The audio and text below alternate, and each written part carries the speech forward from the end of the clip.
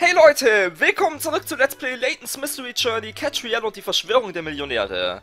Im letzten Part konnten wir uns endlich Reggie Directors neuestes Meisterwerk anschauen, nämlich Volldampf voraus, Torpedo der Liebe.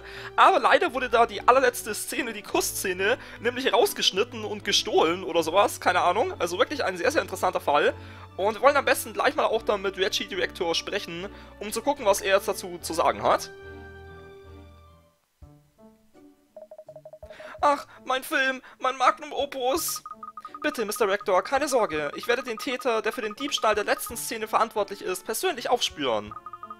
Nein, werden Sie nicht, weil ich ihn nämlich als Erster aufspüren werde, Catriel. Sehr professionell, die Dame, sehr professionell. Sie war perfekt. Ich habe jedes Detail vervollkommnet, bevor ich einer Vorführung zugestimmt habe und jetzt sowas. Die Negative sind doch sicher noch da. Können Sie nicht eine neue Filmrolle für eine weitere Vorführung herstellen lassen? Aber haben Sie nicht die Reaktion des Publikums gesehen? Die Leute waren frustriert. Ohne diese letzte Szene ist die ganze Geschichte nicht rund. Ich wollte dem Publikum den perfekten Film geben. Ich habe mein ganzes Leben in dieses Projekt gesteckt. Meine Herz und Seele war ich da, oder mit Herz und Seele war ich dabei. Wir verstehen schon, Mr. Rector, aber lassen Sie sich davon nicht zu sehr herunterziehen. Ich werde den Täter aufspüren, keine Sorge. Ich soll versuchen, mir nicht runterziehen zu lassen. Sind Sie verrückt? Das ist ein Desaster. Ein Schlag wie dieser noch vor dem offiziellen Kinostart kann der Todesstoß für einen Film sein. Und gerade dachte ich noch, das wäre mein großer Durchbruch. Endlich war ich bei den Spitzenstudios. Ach, jetzt werde ich wieder sparen und knausern müssen. Was soll ich denn jetzt den ganzen Leuten aus meiner Crew sagen? Ich dachte doch, ich könnte ihnen endlich das zahlen, was sie verdienen. Das ist schrecklich. Oh. Bitte versuchen Sie, sich zu beruhigen. Verraten Sie mir doch erstmal, ob Sie irgendeinen Verdacht haben, wer dafür verantwortlich sein könnte. Verantwortlich für diese Schändung meines Werks? Offensichtlich muss das wohl wer sein, der meine Filme nicht mag. Ach, wie soll ich meiner Crew ins Gesicht sehen? Oder meiner Frau? Sie konnten es doch alle kaum erwarten, wie das Publikum reagieren würde. Ach, wenn sich doch der Boden auftun könnte, um mich zu verschlingen. Ich, ich, ich wünschte, ich wäre jetzt auf diesem U-Boot und ich würde untergehen. Oh? Ähm, ja. Nun, danke für Ihre Zeit, Mr. Rector. Oh, der tut mir voll leid. Unter... Oh, untergehen. Oh, Mann, ey.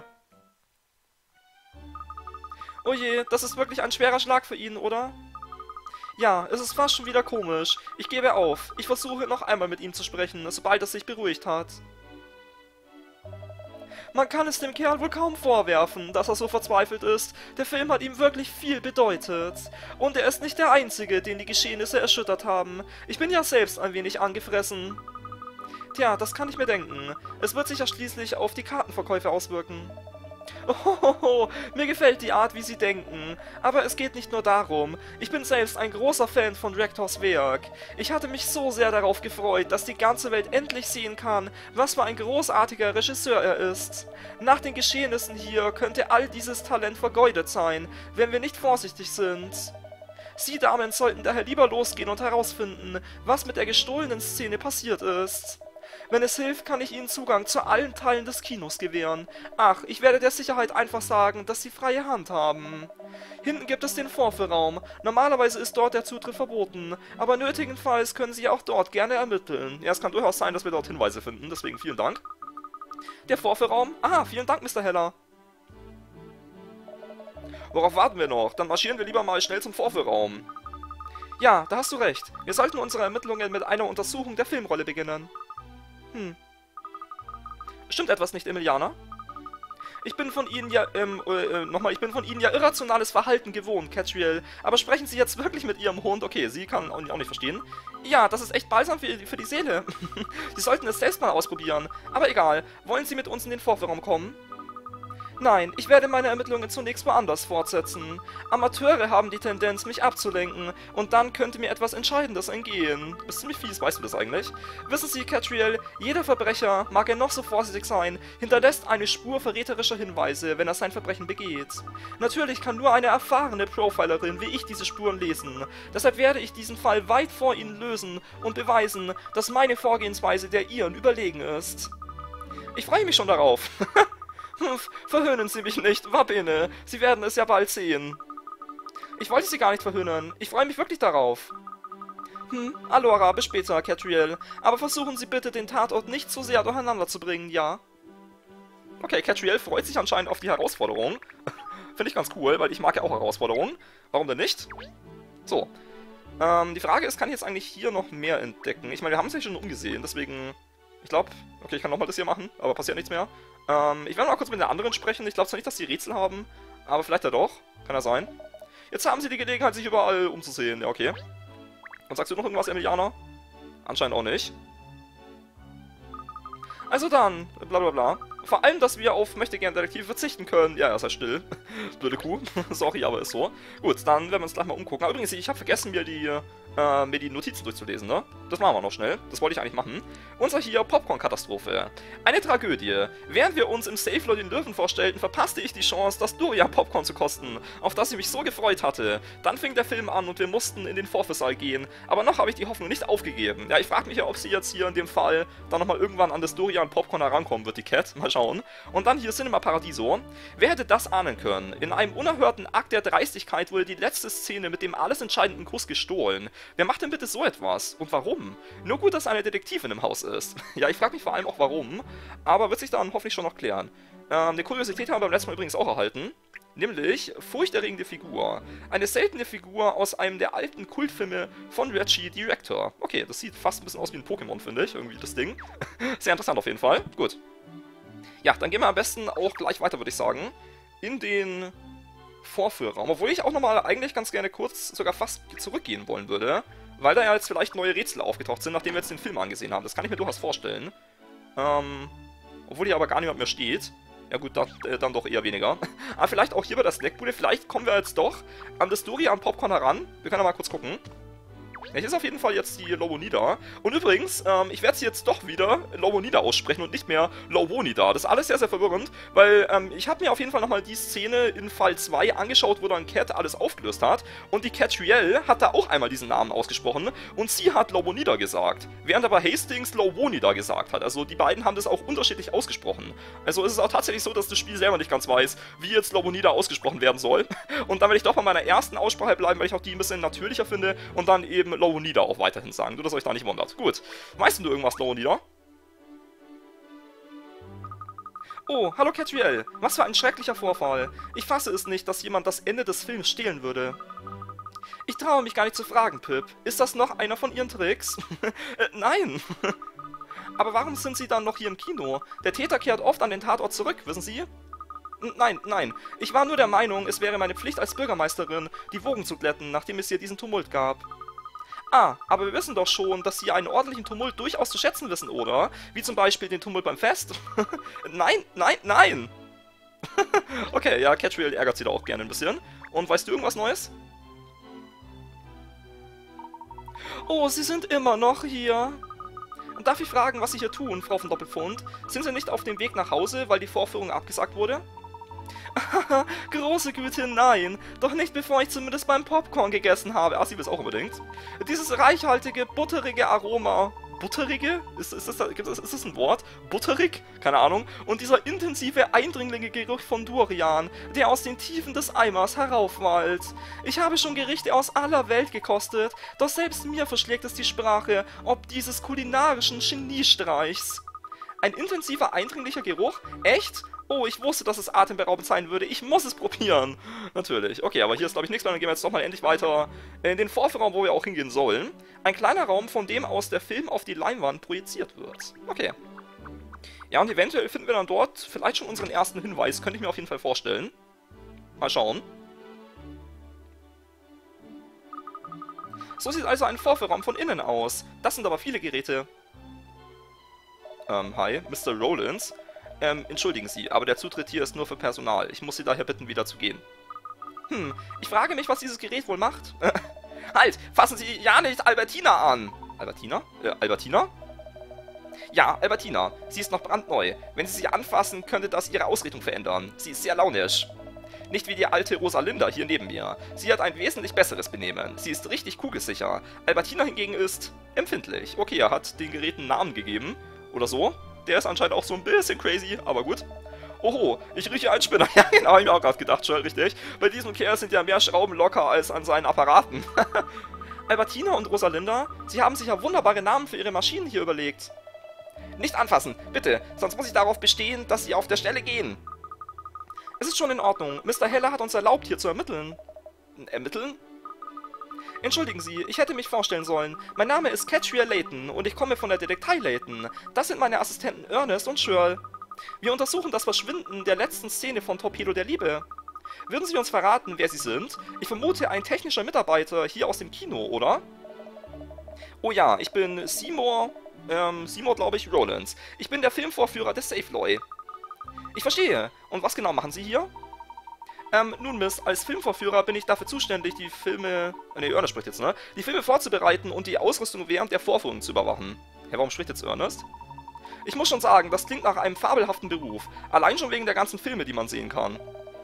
Nehmen Sie das nicht auf die leichte Schulter. Als Filmvorführer hat man eine große Verantwortung und muss jedes Detail im Blick haben.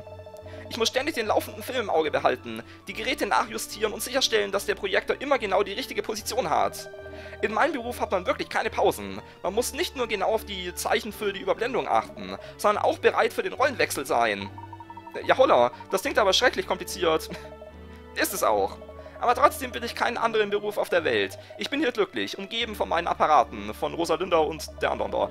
Aber die Leute halten es für Kinderkram und das ist es nicht.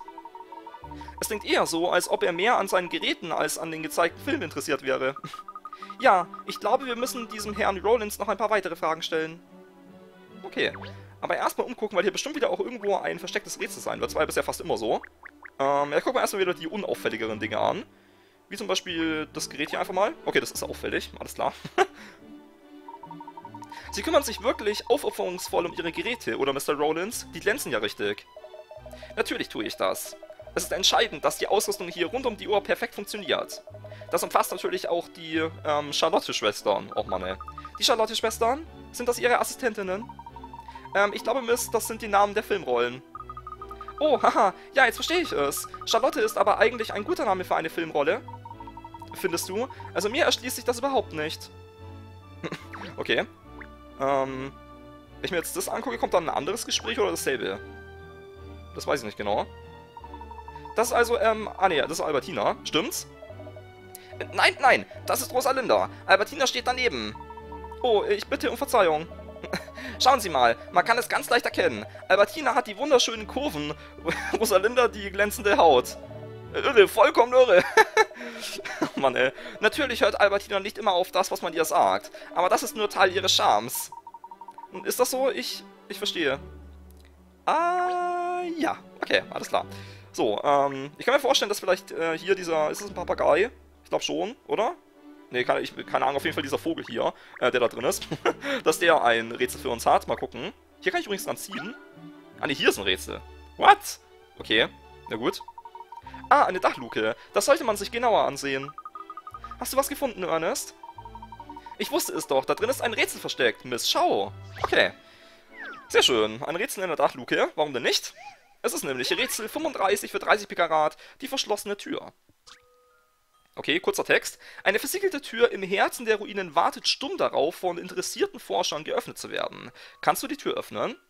Das ist interessant, dass wir keine weiteren Hinweise bekommen. Äh, ansonsten stehen in der Angabe meistens tausend verschiedene Sätze, die uns alles Mögliche erklären sollen. Aber hier steht einfach nur, öffne die Tür, mach irgendwas quasi. Und was genau wir tun sollen, haben wir, haben wir eigentlich keine Ahnung. Okay. Also erstmal so ein bisschen rumklicken. Ich sehe hier zwei so auffällige Knöpfe. Mehr passiert aber nichts. Okay, wenn ich die Tür anklicke, passiert auch nichts. Das Auge da oben? Auch nicht. Aha.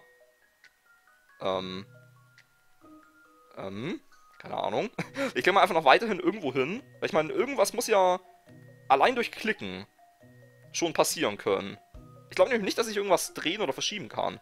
Weil, das, weil ich meine, wenn ich irgendwas hätte drehen oder verschieben können, dann wäre mir das ja angezeigt worden, oder? Im Herzen der Ruinen wartet stumm darauf, von interessierten Forschern geöffnet zu werden. Kannst du die Tür öffnen? Ich kann ja auch nicht ähm, auf Bestätigen gehen oder so.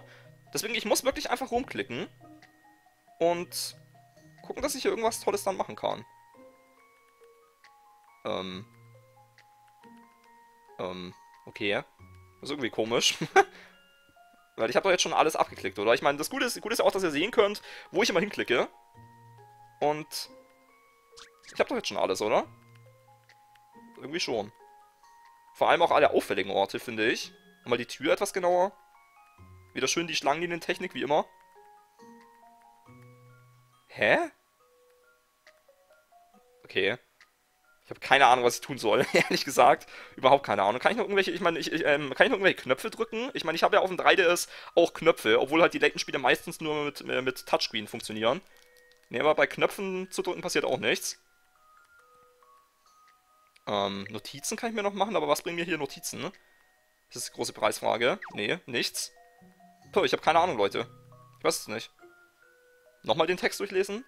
Eine versiegelte Tür im Herzen der Ruinen wartet stumm darauf, von interessierten Forschern geöffnet zu werden. Kannst du die Tür öffnen? Sie wartet stumm darauf.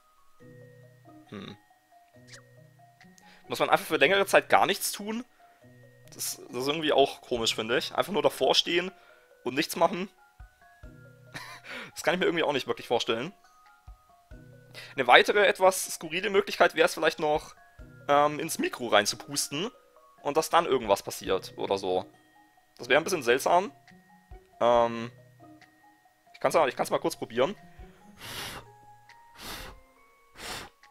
Nee, passiert auch nichts. Ich habe keinen blassen Schimmer, was ich tun muss. Überhaupt nicht. okay, ja, dann werde ich hier auch äh, Tipps benutzen müssen. Weil ich da auch zu blöd bin. Weil ich jetzt schon alles angetippt habe und auch alles mit dem 3DS gemacht habe, was irgendwie so geht. Und ich bin jetzt dann leider ratlos. Und weiß nicht mehr, was ich tun soll. Okay, ich brauche Hinweise. Äh, nee, auf Ja will ich gehen, ja. Es steht irgendwo geschrieben, wie man die Tür öffnet. Es steht irgendwo geschrieben, wie man die Tür öffnet. Ist das so? Das ist interessant. Hm. Ich meine, das Einzige, was ich mir noch vorstellen könnte, ist hier diese beiden Dinger hier. Das hier und das hier. Das sieht ein bisschen aus wie Pfeile. Muss ich da vielleicht dann doch ziehen irgendwie? Weil das habe ich, hab ich noch nicht so wirklich viel probiert, weil ich habe bisher immer nur geklickt. Aber ich habe noch nicht so viel auf dem Bildschirm hin und her gezogen. Aber ich wüsste auch nicht, was ich hier ziehen sollte. Ist irgendwie immer noch alles komisch. Und vor allem, der Tipp sagte ja, dass irgendwo geschrieben steht, wie man sie öffnet. Werden mir dann auf dem Topscreen vielleicht weitere Informationen angezeigt? Die mir dann irgendwelche Hinweise geben, wie ich die öffnen kann? Ähm... Keine Ahnung. ich sehe auf jeden Fall keine. Nee, ich, ich weiß es nicht. Nee, ich brauche noch einen Tipp. Ja. Drücke immer weiter und öffne die Tür. Genauso kann die Tür geöffnet werden. Drücke immer weiter und öffne die Tür. Und wo genau wird mir das gesagt? Hier hier nicht. Immer weiter drücken. Okay, also einfach jetzt hier so ein bisschen tausendmal draufhauen oder wie? Und dann irgendwann wird sie sich öffnen. Das, ist halt, das halte ich jetzt aber auch eher für ein Gerücht, ehrlich gesagt. Dass das funktionieren wird. Das ist irgendwie komisch, das Rätsel, ne? Hier dann doch eher auf die, auf die Knöpfe. Hier, weil ich mir die Knöpfe sind ja schon auffällig, ne? Vielleicht muss ich die Knöpfe hier in irgendeiner bestimmten Reihenfolge drücken oder so. Keine Ahnung. Überhaupt keine Ahnung. Ich brauche einen dritten Tipp auch noch. Ja. Höre nicht auf, auf die Tür zu drücken. Ja, und wie lange soll ich das jetzt machen?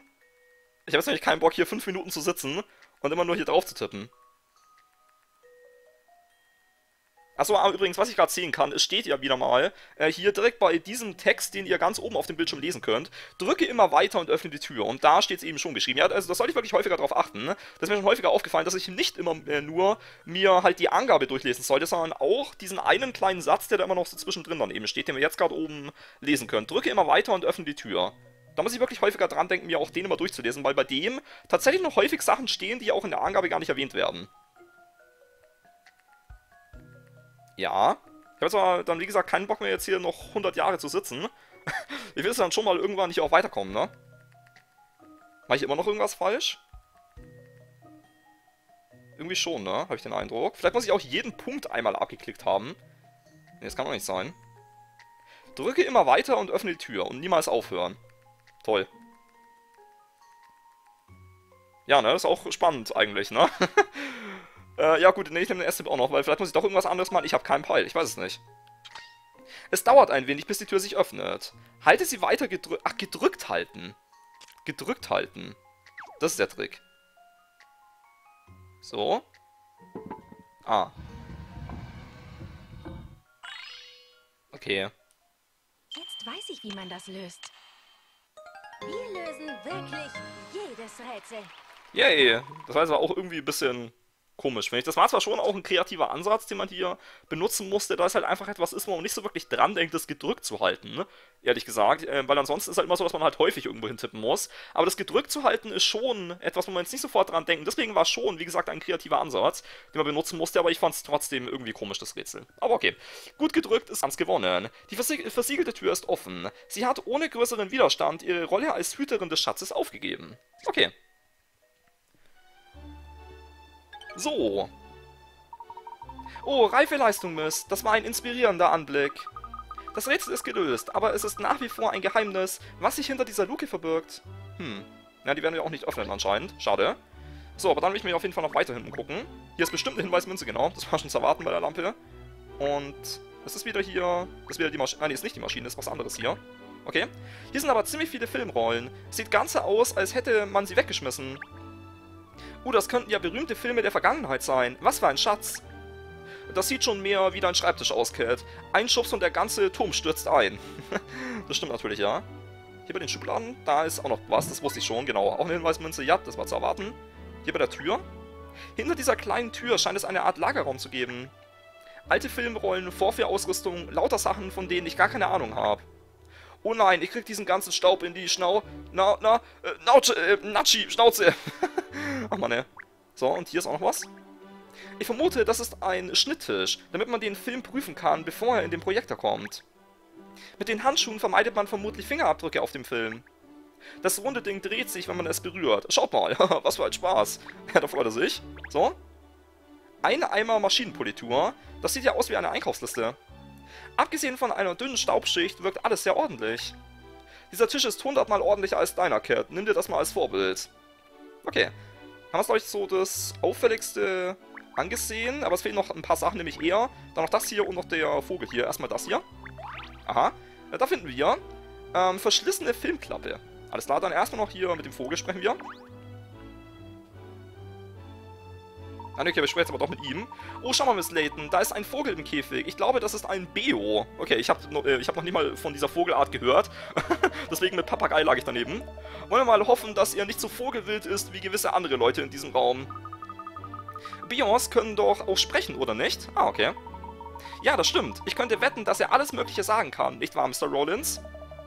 Ja, ich habe dem Schnabeltier ein paar Worte beigebracht. Warum stellst du dich nicht vor, Schnabeltier? Mach schon, sag Hallo.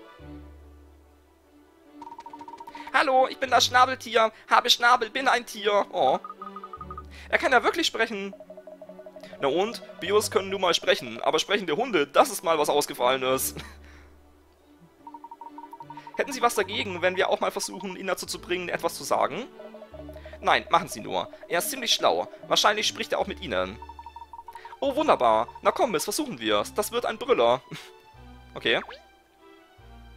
Ähm, Okay, jetzt muss ich mir noch zwei weitere Sachen angucken.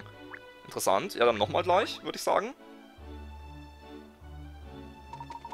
Hallo, wie geht es Ihnen? Wie geht es Ihnen? Ist sehr höflich, nicht wahr? Schön, warum versuchst du nicht mal mit ihm zu sprechen? Vielleicht versteht ihr einander ja. Sprichst du etwas Wahili? Nur weil du auch ein Mensch bist? Ich spreche nur Hund, nicht Vogel. Oh Mann, ey. Ist das so? Das hast du mir bisher aber verschwiegen. Ja, das ist aber eigentlich komisch, weil hat sich Shirley nicht mit der, mit der einen Katze da bisschen unterhalten können. Ja, das war aber auch nur so halb, ne? Ich bin mir nicht ganz sicher. Äh, du hast mir ja auch nie gesagt, ob du so Swahili sprichst. Der Punkt ist einfach, dass ich bisher nur sehr wenige Menschen getroffen habe, die verstehen, was ich sage. Vielleicht gibt es aber da draußen ein paar Vögel oder Katzen, die mich auch verstehen können. Aber falls sie es gibt, sind sie mir bisher noch nicht begegnet. Hm, mir war gar nicht bewusst, dass es alle möglichen Einschränkungen für das gibt, was du kannst oder nicht kannst. Was für eine Enttäuschung. Aber sicher, ich bin ja so eine Enttäuschung, weil sprechende Hunde sowas Gewöhnliches sind. Naja, ich schätze, dann werde ich selbst mit dem Vogel sprechen müssen. Also, Schnabeltier, hast du den Film Dieb gesehen? Dieb gesehen, Dieb gesehen! Äh, Potzblitz, wirklich? Wer war es? Wer war es? Wer war es? Ja, wer war es? Er war es, er war es! Äh, Ernest war das natürlich nicht. Ähm, natürlich nicht, natürlich nicht. Haha, wer ist jetzt ein Schlaumeier? Wer ist jetzt ein Schlaumeier? Verarscht ihr uns gerade? Meine Güte, jetzt ist er auch noch witzig, erstaunlich. ja, zum Totlachen. Ich hatte es Ihnen ja gesagt, das Schnabeltier ist ziemlich schlau, ein echtes Genie. Na gut, Schnabeltier, wenn du so schlau bist, verstehst du bestimmt auch, wenn ich dir erkläre, was ich mit dir anstelle, falls du dich nochmal über mich lustig machst. Äh, ruf den Tierschutz! Ruf den Tierschutz! ähm, Miss Layton, denk daran. Er ist nur ein Vogel. Er mag wie ein Mensch sprechen, aber wir können ihn nicht wie einen behandeln. Hümpf. Schnabeltier Tunga, Schnabeltier Tunga, Popcorn, Popcorn. Tut mir leid, Schnabeltier, aber uns ist das Popcorn ausgegangen. Hm. Oh, ja, aber sicher. Was ist denn, Miss? Hast du die Nuss geknackt? Bist du schon zum Kern des Falls vorgedrungen? Noch nicht wirklich, glaube ich. Nein, nein, zu etwas sehr viel Wichtigerem, zu essen. Ach, im Ernst? Ich hatte glatt vergessen, dass ich ja die ganze Zeit schon Dorian-Popcorn probieren wollte. Ich wusste es. ah ja, nee, doch ein Hinweis. Okay. Nämlich? Ach, Bio, okay. Setz den Hinweis korrekt ein. Alles klar. Yay. So. Wir haben also einen sprechenden Bio. Ja, der uns jetzt aber nicht so viel verraten hat, ehrlich gesagt. Ronis ist ganz vernarrt in seinen Bio namens das Schnabeltier und er nimmt ihn in einem Käfig mit zur Arbeit. Der Vogel kann sprechen, aber es ist nicht ganz klar, ob er auch versteht, was Menschen sagen. Ja, ich meine, der hat auch häufig nur wiederholt, was Cat ihm vorgesagt hat, aber ich meine, er hat auch schon ein bisschen darauf reagieren können. Zum Beispiel das mit dem Tierschutz, was er selber gesagt hat, das war ziemlich witzig, ehrlich gesagt. Und das ist auch erstaunlich, dass er das tatsächlich hinbekommen hat. Aber ist ja auch nur ein Videospiel alles, ne, aber trotzdem, ziemlich cool. Und jetzt haben wir aber erst äh, hier äh, eine Lupe abgehakt. Die andere fehlt noch, die ich dann vielleicht kriege, wenn ich nochmal mit ihm spreche. Ah, der hat ein Rätsel, okay. Entschuldigen Sie bitte, Herr Rollins, aber könnten Sie uns sagen, was Sie heute während der Vorführung gemacht haben? Hm, wenn Sie wollen, dass ich mit Ihnen spreche, müssen Sie mir erst bei der Lösung dieses Rätsels helfen. Natürlich. Wie immer eigentlich. Okay. Nämlich, Rätsel 34, dreifacher Alarm für 45 Pikarat. In einer völlig dunklen Truhe gibt es drei verschiedene Alarme. Einer reagiert auf Geräusche, der zweite auf Licht und der dritte auf Vibration. Es gibt drei Knöpfe, die jeweils einen dieser Effekte erzeugen. Du musst alle drei Alarme auslösen und dabei möglichst wenig Knöpfe drücken. Okay, wähle alle Knöpfe aus, die gedrückt werden müssen. Hm. Das ist auch schon wieder interessant. Finde heraus, welche Knöpfe du drücken musst. Okay, nochmal kurz den Text durchlesen und dann auch gleich die Beschreibungen von den Knöpfen. Erzeuge ein Geräusch in der Truhe, erzeuge ein Licht in der Truhe, schüttle die Truhe. Okay, nochmal in einer völlig dunklen Truhe gibt es drei verschiedene Alarme. Einer reagiert auf Geräusche, einer auf Licht und einer auf Vibration. Es gibt drei Knöpfe, die jeweils einen dieser Effekte erzeugen. Du musst alle drei Alarme auslösen und dabei möglichst wenig Knöpfe drücken. Okay, also die einfachste Antw äh, Antwort wäre natürlich einfach alle drei zu drücken, weil dann habe ich definitiv auch alle drei verschiedenen Alarmdinger. Ähm, aber da der auch schon steht, dass ich es mit möglichst wenigen schaffen muss, ist es dann bestimmt so, dass auch mit weniger geht. Die Frage ist mit wie vielen. So. Lass mal überlegen. Wenn wir den ersten drücken, erzeuge ein Geräusch in der Truhe. Frage ist natürlich, was für eine Art von Geräusch das ist. Ich meine, ich sollte es natürlich so hinkriegen, dass einer der Knöpfe vielleicht gleich zwei oder alle drei von den Alarmen auslösen kann, obwohl er eigentlich nur für einen zuständig sein sollte. Sag ich jetzt mal. Weil zum Beispiel der dritte Knopf, wenn ich die Truhe schüttle, dann erzeugt es ja durchaus auch ein Geräusch könnte man sagen, weil es ist auf jeden Fall nicht möglich, etwas zu schütteln und das völlig ruhig zu tun, da dann halt doch die Schallwellen ein bisschen hin und her schwingen. Deswegen, wenn ich irgendwas schüttle, dann werden dabei auch Geräusche entstehen. Na, deswegen mit dem dritten Ko Knopf kann ich dann auch gleichzeitig ein Geräusch erzeugen. Ähm, kann ich damit auch Licht in der Truhe schaffen? Zugleich.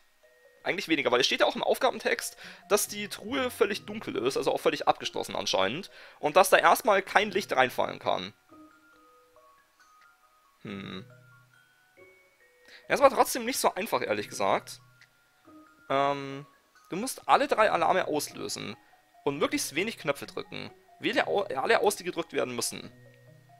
Ich meine, eine andere Option, die ich natürlich auch noch habe, ist, dass ich einfach gar keinen Knopf drücke. Dass ich einfach dann die Truhe gewaltsam an mich nehme und die gewaltsam aufmache und sie schüttle und dann ähm, no, äh, halt noch da in die reinschreie oder sowas. Keine Ahnung, oder dann ein Lied abspiele. Und dann habe ich auch alle drei Sachen, ohne einen Knopf gedrückt zu haben. Aber das geht gar nicht, weil ich kann gar nicht auf Bestätigen gehen. Ich muss erst hier irgendwas machen.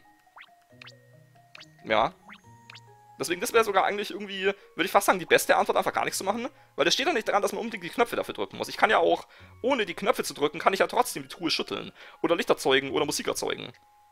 Aber ich muss die schon irgendwie drücken. Dann würde ich am ehesten halt die beiden sagen. Weil Schütteln eben auch ein Geräusch zugleich erzeugt. aber Schütteln nicht auch ähm, Licht erzeugen kann. Das kann ich nur schaffen, wenn ich auch tatsächlich den Lichtschalter einzeln drücke. Hm. Das ist aber trotzdem jetzt nicht so ganz zufriedenstellend. Habe ich denn noch irgendeine Möglichkeit, das wirklich nur mit einem einzigen zu machen? Lass mal mal kurz überlegen, wenn ich nochmal kurz alle durchgehe. Also wenn ich nur ein Geräusch erzeuge innerhalb der Truhe, dann erzeuge ich auf jeden Fall kein Licht. Und ich schüttel sie auch nicht, deswegen, nee, das passt nicht. Wenn ich nur Licht erzeuge, dann wird sie auch nicht geschüttelt.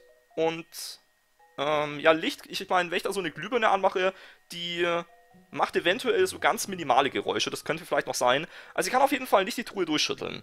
Deswegen, wenn, dann muss ich schon die beiden hier anmachen. Hm. Aber ich bin mir nicht ganz sicher, weswegen ich hier auch ganz gerne wieder Hinweise benutzen wollen würde, ehrlich gesagt. Weil es auch sein kann, dass ich wieder irgendwas falsch verstehe bei dem Rätsel. Deswegen ich werde mal wieder Hinweise benutzen. Weil ich meine, ich habe immer noch 67 Hinweismünzen und dafür habe ich sie ja. Du musst nicht alle Knöpfe drücken, ja, das war mir schon klar. Das, ansonsten wäre das Rätsel auch unsinnig, ehrlich gesagt. Egal welchen Knopf du drückst, ein Alarm wird losgehen. Aha, okay. Das bedeutet, dass du keinen Knopf drücken musst, um ein Geräusch zu machen. Okay, alleine deswegen. Ja, stimmt, richtig. Da geht ein Alarm los. Das macht natürlich Sinn. Obwohl natürlich bei einem Alarm nicht unbedingt jetzt gesagt ist, dass der auch ein Geräusch machen muss, weil ein Alarm, ein Alarm kann ja auch nur aus irgendwelchen aufflackernden Lichtern oder sowas bestehen, obwohl das schon meistens auch Geräusche sind, ja. Aber so oder so durch Schütteln entstehen ja auch Geräusche. Und deswegen, das passt schon so alles, ja. Jetzt ist halt noch die Frage, ob ich tatsächlich auch den Lichtschalter drücken muss, weil vielleicht gibt es doch noch irgendeine Erklärung, ähm, die dann auch dagegen spricht, den Lichtschalter zu drücken. Deswegen, ich mach mal den dritten Tipp auch noch. Du kannst den Lichtalarm nur auslösen, indem du das Licht in der Truhe aktivierst. Ach, okay. Nee, dann habe ich jetzt eigentlich damit mit dem dritten Hinweis bestätigt bekommen. Dann brauche ich den S-Tipp hier nicht. Hoffe ich jetzt zumindest. Ich kann Licht wirklich nur auslösen, wenn ich den Schalter drücke. Wirklich nur. Ansonsten geht's nicht. Ja. Und der Lichtschalter oder der Lichtalarm alleine bringt die Truhe aber nicht zum Schütteln. Deswegen, ich brauche dann die beiden. Ja. Dann werde ich den S-Tipp mal nicht nehmen. Das könnte auch ein Fehler sein, weil mich vielleicht das Rätsel oder auch die Hinweise immer noch so ein bisschen reinlegen wollen. Ehrlich gesagt. Aber ich werde es mal trotzdem nehmen. Wenn man kurz auf meine Idee hören könnte. Ja. Der Sache war ich wohl nicht ganz gewachsen, was? Warum habe ich mir das eigentlich fast schon gedacht? Ich hätte auch den S-Tipp benutzen sollen. Ach man, sieh dir alle Knöpfe hintereinander an und überlege, was passieren würde, wenn du sie drückst. Ja, das habe ich mir eigentlich überlegt. Aber ich habe es anscheinend nicht ganz rausgefunden, weil ich wieder zu blöd war. Okay, dann brauche ich den S-Tipp doch noch. Ach man, hätte ich mir eigentlich schon denken können, wie gesagt. Ach man, das gibt's nicht. So, S-Tipp. Geräusche entstehen, wenn Luft vibriert. Du musst die Truhe nicht schütteln, da sie vibriert, wenn ein Alarm losgeht. Was? Geräusche entstehen, wenn Luft vibriert. Du musst die Truhe nicht schütteln, da sie vibriert, wenn ein Alarm losgeht. Alleine wenn der Alarm losgeht, dann wird die Truhe sich schon ein bisschen bewegen. Ja gut, so ein bisschen, aber es muss dann schon ein sehr, sehr kräftiger Alarm sein, damit er tatsächlich die Schallwellen so stark in Schwingung versetzt, dass auch die Truhe sich dann bewegen wird. Das ist schon auch irgendwie ein bisschen seltsam, weil ich meine, wenn ich mir jetzt vorstelle, dass ich jetzt eine Truhe daheim bei mir oder halt irgendwie so einen Kasten rumstehen habe, ähm, und ich halte jetzt so einen Lautsprecher da in seine Nähe, dann wird er jetzt nicht unbedingt zum Wackeln anfangen. Das kennen wir halt zum Beispiel, wenn wir ein Handy haben und das vibriert dann, dann bewegt sich das so ein bisschen, ja. Aber halt nur, weil halt das Handy auch selber vibriert. Aber nur, wenn ich halt jetzt an einen Kasten einen Lautsprecher hinhalte, wo da halt dann laute Musik rauskommt, dann ähm, wird er jetzt nicht unbedingt dann sofort vibrieren. Da muss dann schon auf jeden Fall die Musik sehr, sehr, sehr, sehr laut sein. Und der Lautsprecher muss sehr nah dran sein. Ja, okay, dann werde ich aber mal hier das Licht dann erzeugen. Ja. Wenn man kurz auf meine Idee hören könnte. Okay. Eine echte Erleichterung. Ganz sicher war ich mir nicht. Ja, da war ich jetzt, muss ich zugeben, auch wieder kein so großer Fan von dem Rätsel, weil das auch wieder alles irgendwie etwas sehr, sehr komisch war. Und weil ich das auch nicht so ganz sinnvoll finde, dass dann die Truhe sich tatsächlich so stark bewegen wird. Dann deswegen, dass es tatsächlich auch gleich als Vibration gilt. Aber okay. Alarmierend gut. Du musst nur einen Knopf drücken, wenn du Licht machst, geht der, Lichtalarm, äh, geht der Lichtalarm los. Das Geräusch aktiviert dann den Geräuschealarm. Die Vibration der Geräusche dieser Alarme lösen anschließend den Vibrationsalarm aus. Und schon sind alle drei Alarme aktiviert. Ich meine, die Idee ist ganz cool, da halt durch den Lichtalarm der Geräuschalarm aktiviert wird und dann dadurch wiederum der Vibrationsalarm. Das ist schon eine ganz coole Idee, dass die sich alle so nacheinander dann von selber quasi aktivieren. Das ist eine ganz coole Idee. Aber trotzdem finde ich die Ausführung ein bisschen unrealistisch, ehrlich gesagt. Und deswegen finde ich es auch schwierig, da drauf zu kommen. Aber okay. Und wieder 30 Rätsel gelöst, deswegen wieder ein neues Interview-Ticket. Und äh, noch was weiteres, und zwar ähm, Coddled, Cuddled Eggs oder sowas, keine Ahnung, mit Trüffelbutter. Alles klar, neues Rezept wieder. Okay, das war ziemlich beeindruckend. Obwohl ihr Fehler gemacht habt. so sprechen Sie jetzt mit uns. Ich würde nämlich gerne erfahren, was Sie vor der Vorführung heute gemacht haben. Gut, alles klar. Ich war natürlich hier drin und habe überprüft, ob all meine Geräte auch einwandfrei funktionieren. Sie waren es also auch, der den Film abgespielt hat? Ja, ich war ziemlich schockiert, als auf der letzten Rolle plötzlich eine Szene übersprungen wurde. Und haben Sie eine Ahnung, wer die Kussszene gestohlen haben könnte? Hm, nein, nicht wirklich. Ich meine, es ist eigentlich egal. Es ist doch nur ein Film, um Himmels Willen. Ähm, ja, da Sie es schon aussprechen, Mr. Rollins. Obwohl Sie in einem Kino arbeiten, scheinen Sie Filme nicht besonders zu mögen. Kann man das so sagen? Natürlich. Ich liebe eher die Geräte. Albertina und Rosalinda sind mir tausendmal lieber als irgendein blöder Film. oh, das erinnert mich daran, dass ich Belinda noch sauber machen muss. Man kann seine Ersatzausrüstung nicht einstauben lassen, nur weil man sie gerade nicht benutzt. Dieser Knecht scheint seine Geräte ja echt zu lieben. okay, das zählt als Hinweis als weiterer, den wir jetzt bekommen haben. Alles klar. Maschinist. Mhm. Das ist das kleine Rad. Ja. Yay. Okay, schon zwei Hinweise gefunden. Nicht schlecht auf jeden Fall. Filmvorführer ähm, Seymour Ro äh, Rollins, ähm, äh, äh, nochmal Seymour Rollins, schwieriger Name irgendwie, hatte jedes seiner geliebten Geräte einen Namen, aber kaum Interesse an Filmen. Vor der Vorführung bereitete er im Vorführraum alles vor. Hm. Ja, bei diesen beiden Hinweisen habe ich jetzt ehrlich gesagt noch keine Ahnung. Ähm, es war ja beim zweiten Fall tatsächlich so, dass ich nach zwei Hinweisen auch schon eine Vermutung hatte, die dann äh, nicht so ganz richtig war. Ehrlich gesagt, wo ich dann erst mit dem dritten Hinweis noch drauf gekommen bin. Aber jetzt bei diesen zwei habe ich noch gar keine Ahnung. Ähm, ob es vielleicht er war oder ob er irgendwas mit dem Fall zu tun hat. Oder ob es doch jemand ganz anderes war, keine Ahnung. Ich werde dann noch weitere Hinweise sammeln müssen und dann erst habe ich auch wirklich eine Ahnung, vielleicht. hm, ich glaube, damit sind unsere Ermittlungen im Vorführraum abgeschlossen. Und abgesehen vom maschinenversessenen Seymour Rollins, äh, boah, das ist voll schwierig auszusprechen, der Name, Seymour Rollins und seinem Bio gibt es hier nichts Ungewöhnliches. Hm, ja. Meine Güte, du wirkst richtig in, in Gedanken versunken, Miss. Strengst du gerade deine kleinen grauen Zellen an, wie Inspektor Hastings es nennt? Oder sie überlegt, wie sie an die äh, Durian-Popcorn rankommen soll? Ich hab's, ich weiß genau, wo wir als nächstes hin müssen. Ohne den Hauch eines Zweifels. Die Bude mit den Snacks! Im Ernst? Ich weigere mich, ohne meine Gratis-Popcorn zu gehen. Im Geiste habe ich schon vor Augen, wieder die kleinen Maiskörner in die Birne poppen.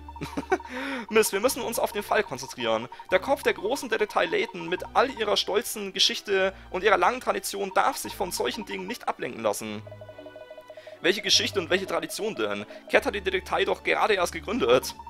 Ja schon, aber sie wird in Zukunft eine stolze Geschichte und eine lange Tradition haben, solange wir uns nur mal das Popcorn aus dem Kopf schlagen in einer ganz fernen Zukunft. Beim aktuellen Stand haben wir gar keine Spuren. Ich glaube, wir sollten uns einen anderen Teil des Kinos anschauen. Okay? Der Knabe liegt vollkommen richtig. Erst das Schnüffeln, dann die Snacks. Na los. Tja, wenn ihr beide nicht mitkommen wollt, dann gehe ich eben alleine. Ach, wie ein Hund, der hinter dem Knochen her ist. Wenden wir uns wieder dem Fall zu. Wahrscheinlich gibt es hier auch irgendwo einen Filmeditor oder Editor, oder nicht? Wir sollten schauen, ob wir ihn befragen können, oder sie. Ein guter Gedanke, Nadelstreifen. Voll auf Zag. Also wie finden wir diesen Cutter? Nun, ich schätze, wir könnten Mr. Rollins fragen.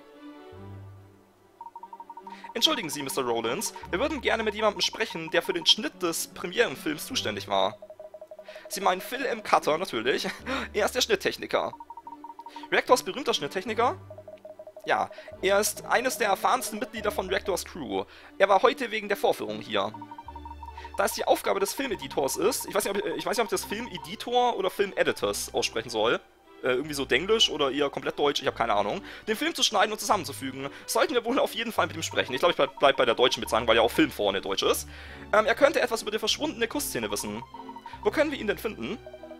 Eine gute Frage. Ich habe keine Ahnung, wohin er nach der Vorführung verschwunden ist. Äh, vielleicht ist er immer noch im Kino. Ziehen wir los und fragen wir herum, ob ihn jemand gesehen hat, Miss. Na gut, sobald ich mein Popcorn habe, machen wir uns auf die Jagd nach Mr. Cutter. Gib auf, Cat! Ach, vielleicht ist es langfristig gesehen schneller, wenn wir einfach zur Bude gehen und die Sache aus dem Weg schaffen. Na schön, Mist, du hast gewonnen. Natürlich. Jetzt gehen wir erstmal zur Bude. Das war ja schon klar. Cat schafft es immer, ihren Willen durchzusetzen. Aber na gut.